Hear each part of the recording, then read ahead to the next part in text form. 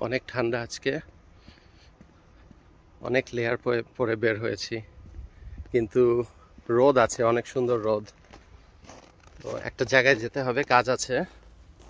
সময় কম। তাড়াতাড়ি শুরু করতে হবে যাত্রা। নাহলে পৌঁছাতে পারব না। আচ্ছা গাড়িতে উঠলাম। ঠিক আছে। অনেক ঠান্ডা। গ্যাস নিচ্ছি। গ্যাসের দাম অনেক হাই। আমি জানি না আপনারা কোথায় থেকে দেখছেন আমার ভিডিও। আমি গ্যাস কিনছি কত? Three point two three three point two three dollars per gallon যেটা আমার মনে হয় বেশ হাই। মনে আছে দুই আড়াই বছর আগে গ্যাসের দাম কত কম ছিল এবং এখন গ্যাসের দাম অনেক হাই? তো কি আর করা?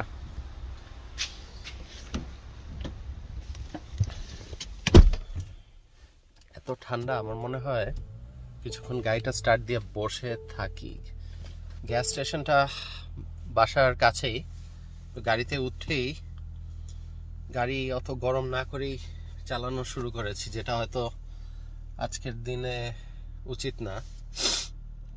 দেখি কিছুক্ষণ বসি, একটু গরম হোক। ইঞ্জিনটা গরম হলে গাড়ির জন্য ভালো।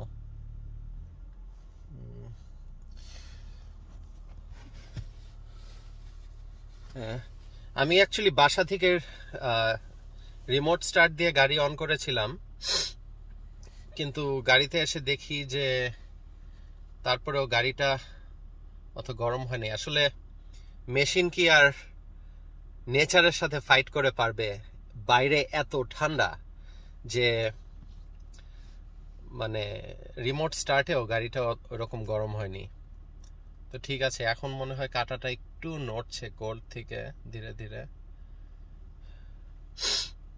তাও ভালো যে আজকে অনেক রোদ, রৌদ্রোজ্জ্বল দিন। আমি তো আজকে অনেক লেয়ার পরে বের হয়েছি।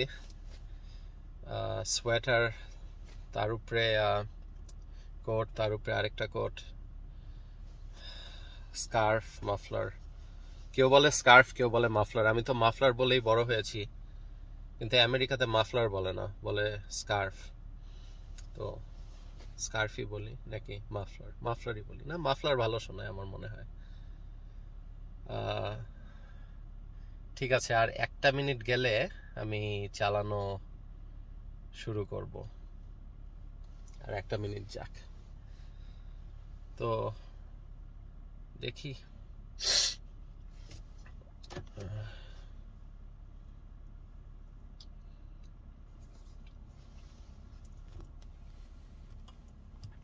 দুনিয়া কত চেঞ্জ হয়ে গেছে? গাড়ির মধ্যেও কত রকমের ফিচার যেগুলা আগে এক সময় হয়তো ভাবাই যেত না।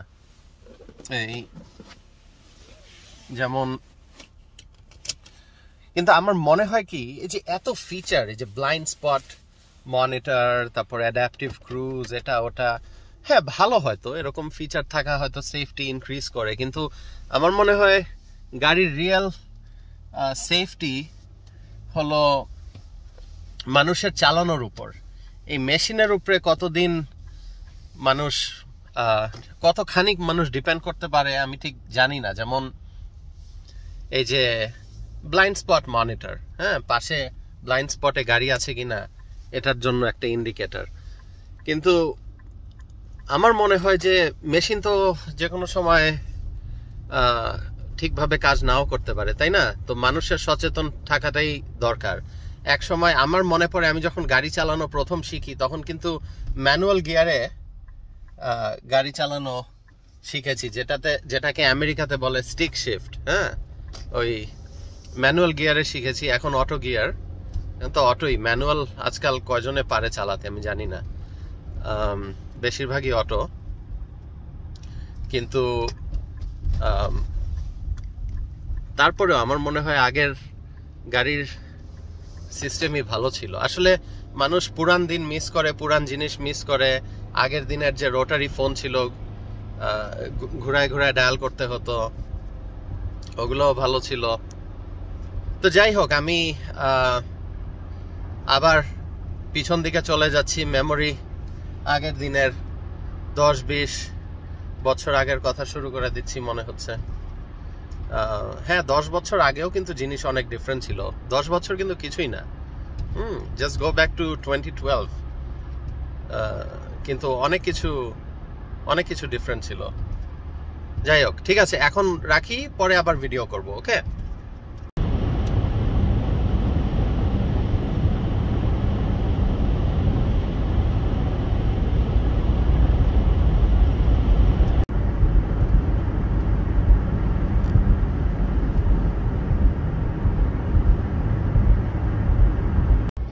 এই মুহূর্তে আমি গাড়িতে দেখতে পাচ্ছি যে temperature Two degrees Fahrenheit. 2 degrees Fahrenheit, which is very cold, but actual feel is much lower than that. Uh, I think it's in the negative. কারণ wind chill আছে but according to the forecast কালকে কালকে আবার কিন্তু temperature অনেক বেড়ে যাওয়ার কথা I think it be in the thirties which is pretty amazing যে আজকে এত ঠান্ডা এবং কালকেই আবার টেম্পারেচার অনেক বেড়ে যাবে অ্যাকর্ডিং টু দ্য ফোরকাস্ট দেখা যাক অ্যাকচুয়াল টেম্পারেচার কত হয় কালকে।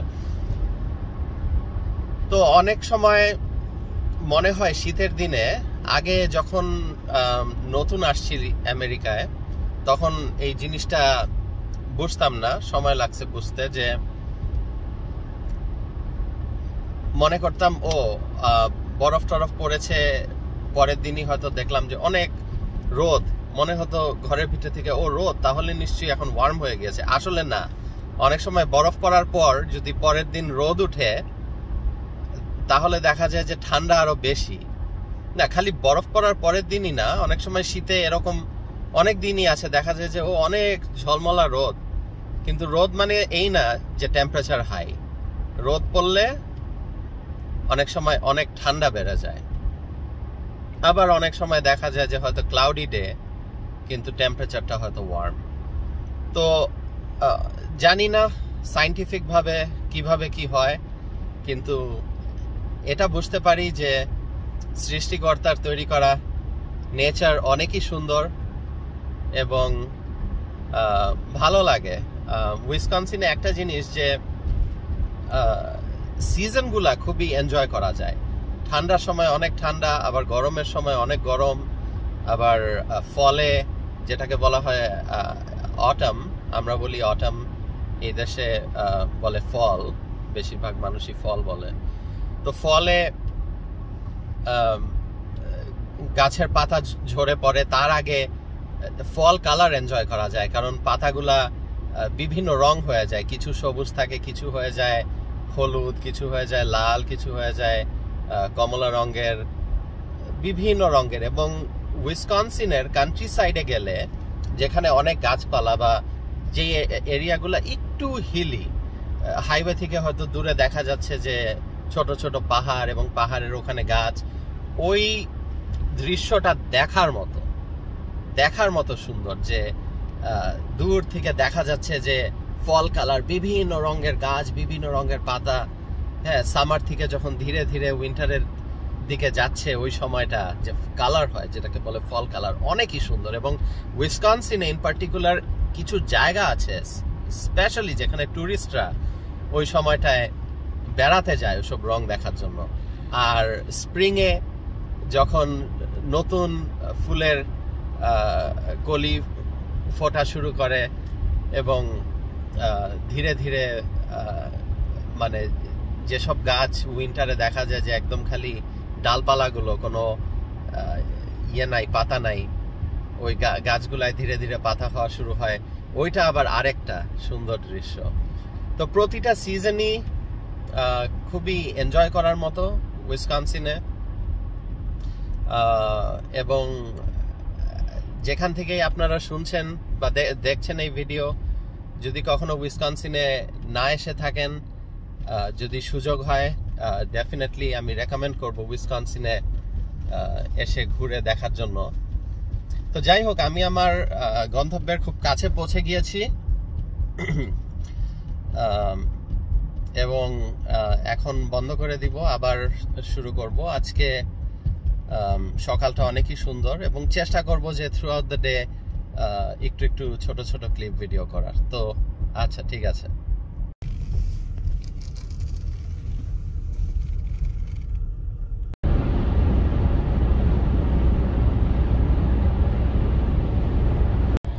আচ্ছা একটানা কত মাইল একদিনে চালাতে পারবেন? একটানা একদিনে কত মাইল চালাতে পারবেন? আমার রেকর্ড, আমি বলব যে রাউন্ড আপ করে বলছি এক্স্যাক্ট মাইল তো আর বলা যায় না। সেভেন হান্ড্রেড মাইল সাতশো মাইল। অবশ্যই সাতশো মাইল তো আর একদম টানা চালানো যায় না। আমি বলছি যে মাঝখানে গ্যাসের জন্য থামতে হলে, তারপর খাওয়া দাওয়া করার জন্য থামতে হলে ওগুলা ইনক্লুড আছে। বাট একটানা বলতে বলছি যে চালানো শুরু করা এবং গিয়ে একদম এক জায়গায় মানে একই দিনে, হয়তো সকাল থেকে রাত পর্যন্ত বিফোর আ প্রপার রেস্ট মানে before a nap before a sleep অথবা before an overnight hotel stay ডানা সাতশো মাইল, এটাই আমার রেকর্ড এখন পর্যন্ত। তো এটা ছিল কয়েক বছর আগে টেক্সাসে যাওয়ার পথে। ম্যাডিসন থেকে শুরু করি, ম্যাডিসন, উইসকানসিন এবং ক্যান্সাসের একটা শহরে গিয়ে থামি আর কি। তারপর এক রাত ওখানে কাটাই, তারপর আবার পরের দিন চালানো শুরু করি এবং টেক্সাসের জন্য জার্নি কন্টিনিউ করি। তো সাতশো মাইলের মতো টানা চালিয়েছি একই দিনে। বেশ লম্বা ডিস্টেন্স হয়তো চাইলে আরেকটু পারতাম। তো রাত হয়ে গিয়েছিল, মনে করেছি ঠিক আছে, এখন থামা দরকার। তো জানি না, আপনারা কি আরও বেশি পারবেন? তাহলে আমাকে লিখে জানান। আর লং ড্রাইভ খুবই ভালো লাগে আমার, খুবই ভালো লাগে লং ড্রাইভ যদি ওয়েদার সুন্দর থাকে লং ড্রাইভ খুবই পিসফুল এবং আমি কিন্তু অনেকে হয়তো অবাক হবেন শুনলে, আমি কিন্তু এয়ার ট্রাভেলের খুব একটা আমার যে খুব ওই যে অনেকের ইচ্ছা থাকে এয়ার ট্রাভেল করার, আমার কিন্তু এরকম খুব একটা ইচ্ছা নাই এয়ার ট্রাভেলের আমার মনে হয় প্লেনে যাতায়াত অনেক হ্যাসেল প্লাস আমার মনে হয় রিসেন্ট ইয়ার্সে মোস্টলি দুই হাজার বিশ সাল থেকে এই যে কোভিড প্যান্ডেমিক শুরু হওয়ার পর থেকে আমার মনে হয় যে এই এয়ার ট্রাভেলটা খুব একটা হ্যাসেলের ব্যাপার হয়ে গিয়েছে। কিছুদিন আগেই তো আমেরিকাতে শুনলাম যে নিউজেও দেখেছি কি দুরবস্থা লোকজনের যে বিভিন্ন মানে কত শত শত ফ্লাইট ক্যান্সেল হয়ে গিয়েছে। তো মানুষজন এয়ারপোর্টে বসে আছে ঘণ্টা ধরে ঘণ্টা ধরে যে গন্তব্যে পৌঁছাবে, ওখানে হয়তো কোনো একটা ইম্পর্টেন্ট প্রোগ্রাম বা মিটিং ইভেন্ট কিছু ছিল, ওইটা মিস হয়ে গিয়েছে, কোনো রিপ্লেসমেন্ট যে সাবস্টিটিউট একটা অন্য প্লেন ধরে যাবে, ওইটারও ওরকম সুযোগ পায় নাই। তারপর অনেকের দেখা গেছে যে প্লেন ক্যান্সেল হয়ে গিয়েছে ফ্লাইট তারপর হয়তো ডিসাইড করল যে না, যাওয়া দরকার, ঠিক আছে, গাড়ি নিয়েই, একটা গাড়ি ভাড়া করে গাড়ি নিয়েই চালানো শুরু করে দিব। আবার দেখা যায় যে গাড়ির কাউন্টারে ওই কোম্পানির কাউন্টারেও এত লম্বা লাইন যে দে র্যান আউট অফ গাড়ি, যে মানুষকে গাড়ি দিবে ভাড়ায়, ওই সাপ্লাই স্টক শেষ হয়ে গিয়েছে। এরকম মানে অনেক কিছু দেখি এবং না ডেফিনেটলি একটা, দুইটা এরকম কোনো অকারেন্স ইনসিডেন্ট দিয়ে তো আর জাজ করা যায় না এয়ার ট্রাভেল কিন্তু আমার কাছে মনে হয় যে আমেরিকার ভিতরে যতক্ষণ ট্রাভেল করছি, এক স্টেট থেকে আরেক স্টেট যত দূরই হোক, গাড়ি দিয়ে যাওয়াটাই তো আরাম, যদি হাতে সময় থাকে। হ্যাঁ যদি কাজের জন্য হয়, যে আজকে উইসকনসিন থেকে আমার যেতে হবে, কালকে ক্যালিফোর্নিয়াতে কোনো একটা মিটিং আছে, তাহলে তো এয়ার ট্রাভেল ছাড়া কোনো আর কোনো উপায় নাই। কিন্তু যদি ইয়ে হয়, যে লেজারলি ট্রাভেল যেটা, যে ছুটি নিয়েছি ঠিক আছে, বেড়াতে যাব পাঁচশো মাইল, ছয়শো মাইল, এক হাজার মাইল, বারোশো মাইল দূরে যেতে হবে, গাড়ি নিয়ে আরামে চালিয়ে চলে যাই। চালানোর মধ্যে একটা আনন্দ যারা এনজয় করে, সবাই তো আর করবে না। আমি এনজয় করি। আমার মনে হয় কি সুন্দর পিসফুল গান অন করে দিয়ে, তারপরে এই যে গাড়ির উপরে দেখতে পাচ্ছেন যে সুন্দর সানলাইট আসছে। এরকম যদি ইয়ে থাকে ওয়েদার থাকে, বা রাত্রেবেলা চালানোর মধ্যে যদি সুন্দর চাঁদের আলো থাকে, তারা, তারার আলো থাকে আকাশে তাহলে তো গাড়ি চালিয়ে যাওয়াটাই আনন্দের। যখন ইচ্ছা এক্সিট নিলাম, থামলাম, কোথাও ভালো লাগল, নেমে ছবি তুললাম, কোথাও থামতে ইচ্ছা হলো, থেমে খাওয়া দাওয়া করলাম, চা খাওয়ার জন্য থামলাম যাই হোক মানে নিজের হাতে স্টিয়ারিং স্টিয়ারিং হুইল নিজের কাছে কন্ট্রোল তা আমি এটাই এনজয় করি। আমার কাছে মনে হয় অনেক বেশি ফ্রিডম তো যাই হোক, বললাম বনের কথা আপনাদের সাথে শেয়ার করি। আমার ইউটিউব এই চ্যানেলে যে ভিডিও বানানোর পিছে আমার মেইন উদ্দেশ্যই হলো যে মনের কথা শেয়ার করা সবার সাথে শেয়ার করা এবং মানুষ যখন কমেন্ট করে, খুবই ভালো লাগে। এই কিছুক্ষণ আগেই আমার একজনের সাথে দেখা হলো। যে আমাকে বলল যে, ও, তোমার বিভিন্ন ভিডিও তো দেখেছি বা আজকাল যে ভিডিও বানাচ্ছ, দেখি খুব ভালো লাগে তোমার। তো ওটা নিয়ে আবার কিছুক্ষণ কথা হলো। ইন্টারঅ্যাকশন ইন্টারঅ্যাকশন আমার ভালো লাগে। মানে ফ্রিডম অফ এক্সপ্রেশন কথাবার্তা শেয়ারিং অফ নলেজ নিজের মনের কোনো কথা মানুষের সাথে শেয়ার করা এবং মানুষের মনের কথা শোনা। খুবই একটা সুন্দর জিনিস আসলে। তো টেকনোলজি এত অ্যাডভান্স যে মানুষ পারে, যার হাতেই ফোন আছে, সাথে ক্যামেরা আছে, একটা ল্যাপটপ আছে, একটা ট্যাবলেট আছে, সে দুটা কথা রেকর্ড করে সোশ্যাল মিডিয়াতে ছেড়ে দিতে পারে, সুন্দর এবং মানুষের রিয়াকশন আসে, কথাবার্তা আসে রিয়াকশন আসে কমেন্ট আসে, ভালো লাগে। তো আপনাদের আপনারা যারা আমার ভিডিও দেখছেন, আপনাদেরও যদি কোনো ইউটিউব চ্যানেল থাকে, ওটার লিঙ্ক আমার সাথে শেয়ার করেন, আমি ডেফিনেটলি চেষ্টা করব আপনাদের সব ভিডিও দেখার। এবং আমার ভিডিও যদি ভালো লাগে, অবশ্যই লাইক দিবেন, আমার চ্যানেলকে সাবস্ক্রাইব করবেন খুশি হব। কারণ, একজন যখন কন্টেন্ট ক্রিয়েট করে, তার সব থেকে এনকারেজিং জিনিস যেটা মানুষ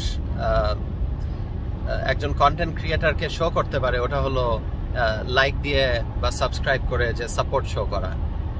তো আশা করি আপনারাও লাইক দিয়ে আমার ভিডিও সাবস্ক্রাইব করবেন, আমার চ্যানেল সাবস্ক্রাইব করবেন, আমার সাথে কানেক্টেড থাকবেন। আর আমার ওয়েবসাইট প্লিজ আমার ওয়েবসাইটটা গিয়ে দেখুন, ওখানে অনেক কিছু আছে।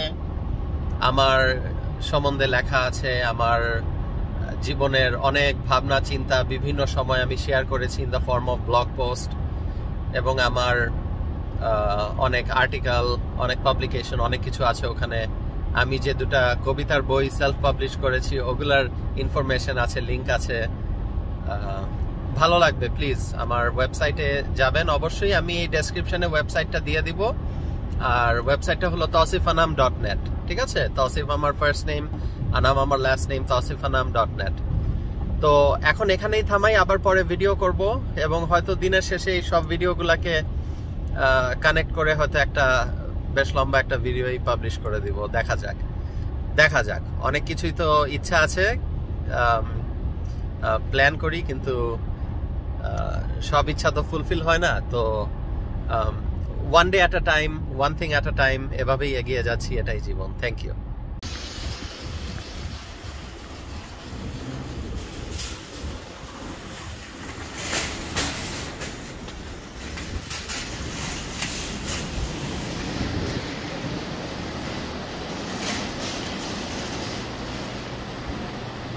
চিজ স্লাইস খুঁজছি এখানেই আছে। এই যে এটা নিলাম। ওভেন রোস্টেড ডেলি টার্কি এবং এখন দেখি চিজ অনেক রকমের চিজ কোনটা নিব provolone or American.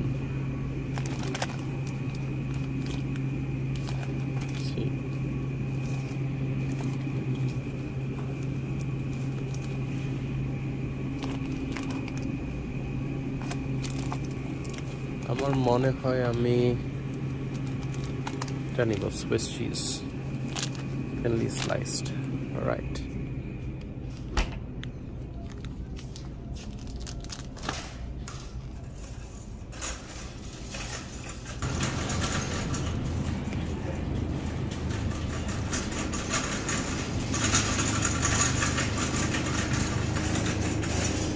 একটু ধনিয়া পাতাও নেই।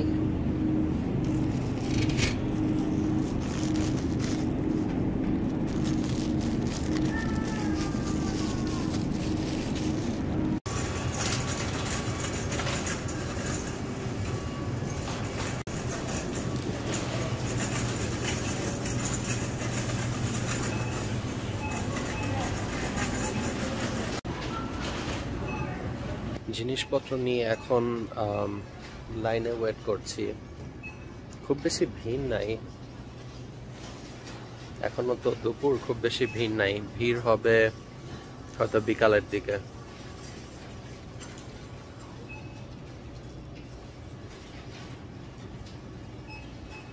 আমি অ্যাকচুয়ালি কয়েকটা ডিফারেন্ট ডিফারেন্ট জায়গায় গ্রোসারি করি। এমন না যে একটা ফিক্সড কোনো লোকেশন আছে, খালি ওই দোকানেই যাই। না, এরকম না। কয়েকটা ডিফারেন্ট জায়গা আছে যেখানে যাই। ইভেন মিলওয়াকিতেও যাই। মিলওয়াকিতে যাই, ওখান থেকে মাংস আনি। যদি মুরগি দরকার হয়, তাহলে ওখান থেকে নিয়ে আসি। এবং গেলে বাল্কে নিয়ে আসি, হয়তো পনেরো বিশটা মুরগি একবারে আনি। আমি বলব যে চার পাঁচটা জায়গা আছে যেখান থেকে গ্রসারি কিনি বিভিন্ন জিনিস। আর অনেক সময় দেখা যায় যে ট্রাভেল করতে করতে যদি মনে পড়ে যে অন্য শহরে আছি হয়তো কোনো কিছু কেনা দরকার। হয়তো ট্রাভেলের সময় নেমে কিনে ফেলি। আচ্ছা। এখানে রাখতে হবে। চেক আউট করার জন্য। আপেল নিয়েছি, কমলা, আলু, পেঁয়াজ ধনা পাতা, ডিম, তারপর টার্কি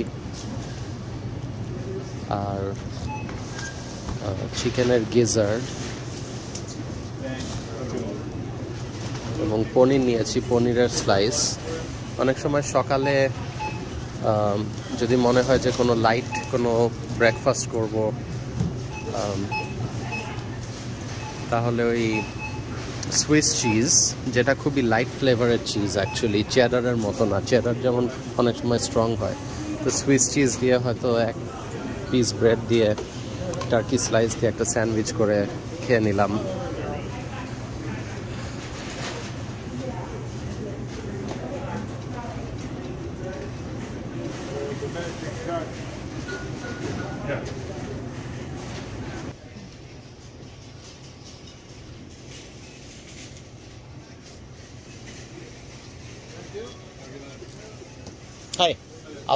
Plastic, please.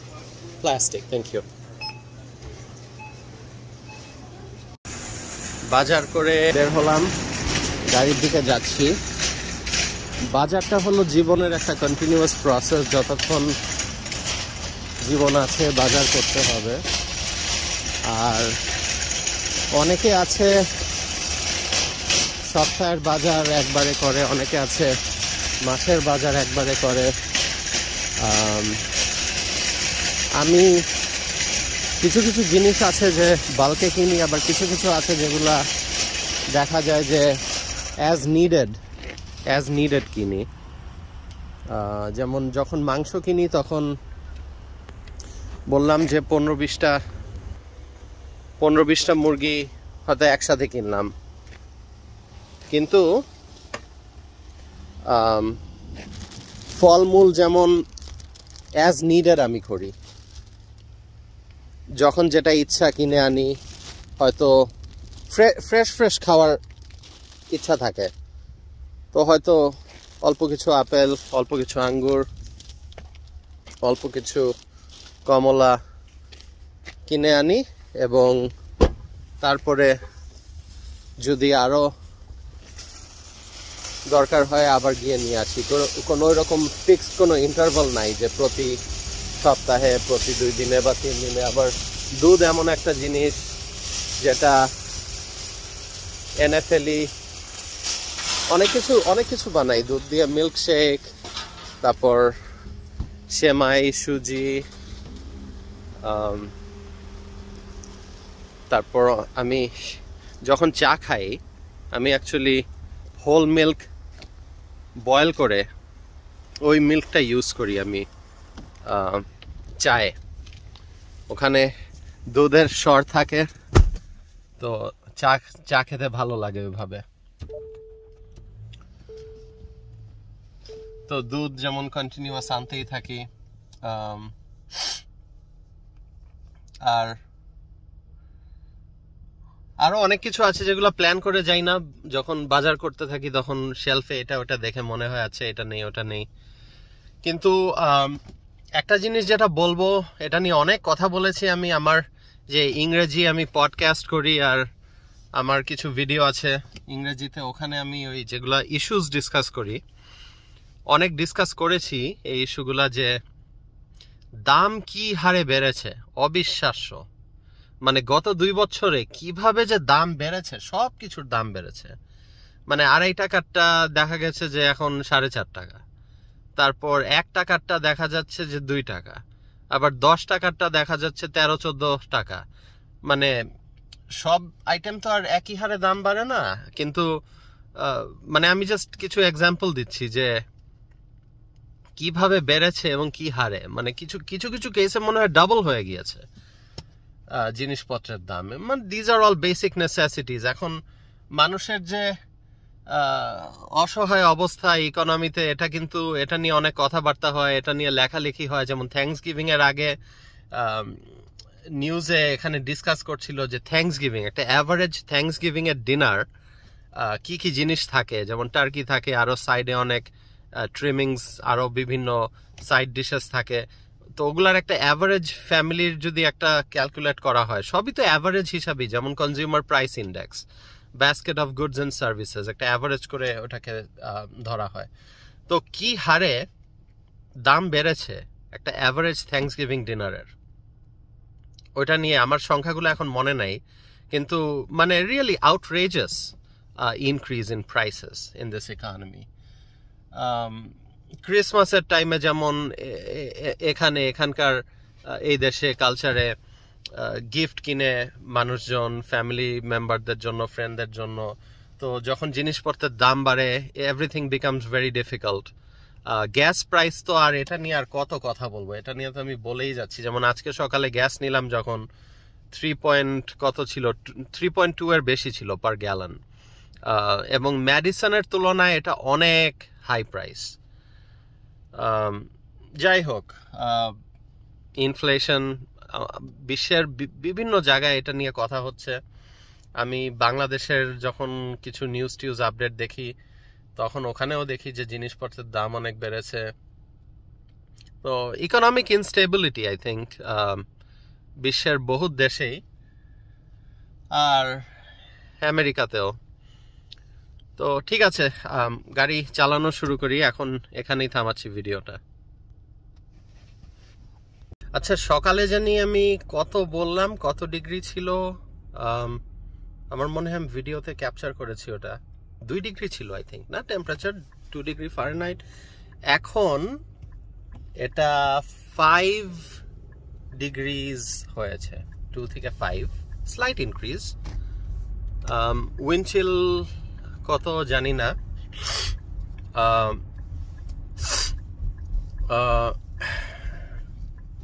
তারপরেও ঠান্ডা, বেশ ঠান্ডা। কিন্তু মানুষের মধ্যে না একটা আনন্দ দেখা যাচ্ছে, মনে হচ্ছে যে এই ঠান্ডা হলেও যেহেতু রোদ, এখন তো যেমন একটু ক্লাউড আছে, এজন্য রোদটা একটু কম, কিন্তু সকালে কি যে রোদ ছিল বিউটিফুল তো রোদ মানুষকে এনার্জাইজ করে। এটা নিয়ে হয়তো আমি একটা বড় গ্রিক এবং রোমান মিথোলজি রিলেটেড এক হয়তো একটা আমি বড় লেকচারও দিতে পারি। If I want to talk about the the god Apollo Greek R Roman মিথে যে বিভিন্ন গডস অ্যান্ড গডেসেস আছে।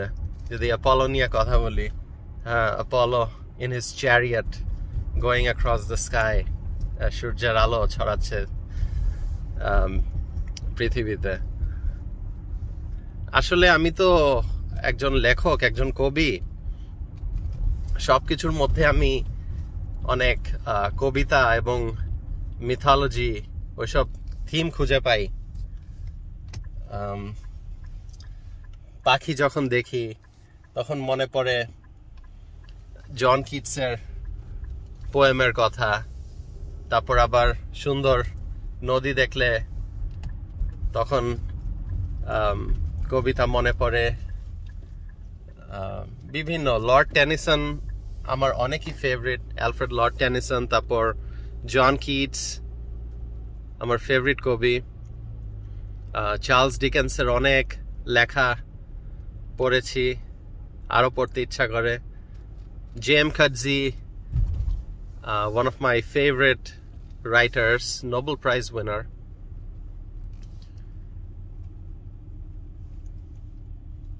অনেকে বলে যে উইসকনসিনে, আমি তো কথা বলেছি earlier about the different seasons right যেমন স্প্রিং সামার অটম যেটাকে আবার ফল বলা হয় উইন্টার কিন্তু মজা করে এই স্টেটে একটা জিনিস আছে, অনেকে বলে যে এই স্টেটে বলে সিজন অ্যাকচুয়ালি দুইটা।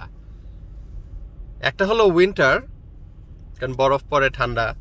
আরেকটা হলো construction construction can it be a season বলে কেন? কারণ দেখা যায় যে একটু গরম ওয়েদার যখনই আসে কনস্ট্রাকশন শুরু হয়ে যায়। বিভিন্ন রাস্তায় ওই ডিটুর সাইন দিয়ে রাখে, তারপর রাস্তাঘাট রিপেয়ারের কাজ চলতে থাকে।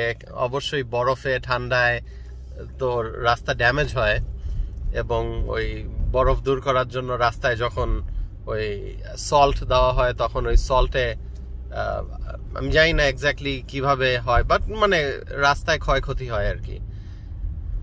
তো তখন ওই যখন ওয়ার্মার ওয়েদার আসে, সব রিপেয়ারের কাজ চলতে থাকে সব রকম মেনটেনেন্সের কাজ, বড় বড় হাইওয়ে থেকে শুরু করে ছোট ছোট রাস্তায় বিভিন্ন কাজ চলে। তখন এই জন্য মানুষ বলে যে, এক হলো সিজন উইন্টার আরেক হলো কনস্ট্রাকশন কারণ সারাক্ষণ কনস্ট্রাকশনই হতে থাকে ওয়ার্ম ওয়েদারের সময়।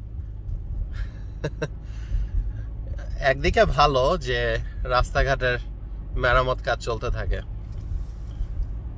সুন্দর দিন। আজকে মনটা ভালো লাগছে। শুক্রবার, সুন্দর দিন ওয়েদার ভালো। একটা ভালো অনুষ্ঠানে গিয়েছিলাম। একটা ব্যবসার রিবন কাটিং সেরেমনি ছিল, যেটাকে বলা হয় ফিতা কেটে উদ্বোধন করা নতুন একটা ব্যবসা। এবং এই প্রোগ্রামগুলোতে যেতে আমার এত ভালো লাগে, আমি বুঝাতে পারব না। কেন? যে একটা একটা ফেস্টিভ একটা ফিলিং থাকে। একটা, একজন ব্যবসায়ী যখন একটা নতুন বিজনেস ভেঞ্চার শুরু করে একটা, এবং ওইটার একটা উদ্বোধন করার জন্য একটা প্রোগ্রাম হয়, সবার মন থাকে ভালো, সবাই থাকে খুশি খুবই ভালো লাগে। যে এরকম সুন্দর সেলিব্রেশনে পার্টিসিপেট করার সুযোগ পেয়ে অনেক ইনভিটেশন পাই। খুবই আনন্দের একটা এনভায়রনমেন্ট হয় তখন। তো আজকে ওইরকমই একটা প্রোগ্রামে গিয়েছিলাম। একটা স্মল বিজনেস একটা শহর আছে, এখানে নাম হলো মিল্টন, রক কাউন্টিতে। মিল্টন নামের শহরে ওখানে একটা স্মল বিজনেসের রিবন কাটিং সেরেমনিতে গিয়েছি।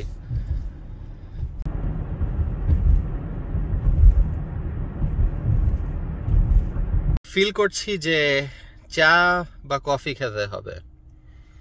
আমি কফি কফি ভালো লাগে। কফিটা একটু অ্যাভয়েড করি, একটু বেশি স্ট্রং তো। তো চাটা খাই। বলছিলাম আমার মনে হয় এর আগে যে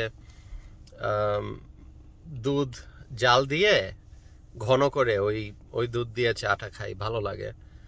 আর যদি বিল্ডিংয়ে গিয়ে মনে করি রেডিমেড কিছু রেডিমেড কোনো বেভারেজ পান করব, তাহলে আমাদের যে ওখানে কফি ক্যাপুচিনো মেশিন আছে, ওখানে হয়তো ফ্রেঞ্চ ভ্যানিলা ক্যাপুচিনো বানিয়ে নিতে পারি। বিল্ডিংয়ে এটাই একটা সুব্যবস্থা। অনেক রকমের ফ্যাসিলিটি আছে।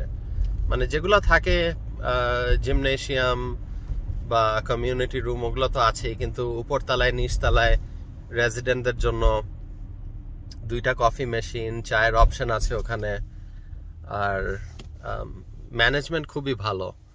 তো খুব ম্যাটার করে অ্যাকচুয়ালি বাসস্থানটা খুবই ম্যাটার করে যদি কমফোর্টেবল লিভিং হয় um, এবং এই কারণেই অ্যাকচুয়ালি অ্যাপার্টমেন্ট অ্যাপার্টমেন্টে থাকি এটার পিছে কারণ হলো এটাই যে আমার জীবন এত ব্যস্ত আমি যে কাজ করি আমার official job that keeps me very busy আমার অনেক ট্রাভেল করতে হয়, অনেক ব্যস্ততা থাকে, অনেক প্রোগ্রামে যেতে হয় উইকেন্ডেও অনেক সময় কাজ থাকে। আর যখন কাজ টাজ শেষ করে বাসায় থাকি, তখন দেখা যায় যে আমি আমার লেখালেখি, আমার পডকাস্ট এগুলা নিয়ে ব্যস্ত আছি। ব্যস্ত জীবন। এবং এটাই তো সময়। যতক্ষণ এনার্জি আছে স্ট্রেংথ আছে, কাজ করে যেতে হবে। তো এই জন্য হাউস হাউসের পিছে অনেক মেনটেনেন্স হাউসের পিছে অনেক মেনটেনেন্স স্পেশালি উইসকনসিনের মতো একটা জায়গায় স্নো ক্লিন করা, তারপর লন মো করা, তারপর যাদের বাসা আছে, নিজের বাসা দেখা যায় যে এটা নষ্ট হয়ে গেলে এটা ঠিক করতে হয়, ওটা ঠিক করতে হয়। কিন্তু আমার এখানে এত কমফর্ট এই কিছুদিন, কিছু কয়েক মাস আগে যেমন হঠাৎ দেখি যে হিট অন করলে ফার্নেসটা কাজ করছে না। সাথে সাথে ম্যানেজমেন্টকে ফোন করলাম, সুন্দর করে লোক ডেকে সব ফিক্স করে দিল। এখন এটা যদি আমার নিজের করতে হতো একটা হ্যাসেল একটা কিছু এক্সট্রা স্টেপ তো এরকম ছোট ছোট অনেক কাজ থাকে যেগুলা মানে অ্যাপার্টমেন্টের যে কমফোর্টেবল লিভিং এটাতে আমার ওগুলা করতে হয় না। তো সময়টা আমার জন্য সব থেকে ভ্যালুয়েবল আমি একটা দুই হাজার চোদ্দ সালে আমি একটা অ্যাওয়ার্ড পাই ট্রেল ব্লেজার অ্যাওয়ার্ড তখন আমি যে অ্যাওয়ার্ড অ্যাকসেপ্টেন্স স্পিচ ওখানে আমি বলি যে twenty four hours is not enough for me to do all the things that I want to do আমি এই কথাটা বলেছিলাম যে, চব্বিশ ঘণ্টা আমার মনে হয় না যে এনাফ টাইম আমার মনে হয় যদি একটা দিনে চব্বিশ ঘন্টারও বেশি আরও ঘণ্টা থাকতো, ওই, ওগুলাকেও আমি কাজে লাগাতে পারতাম।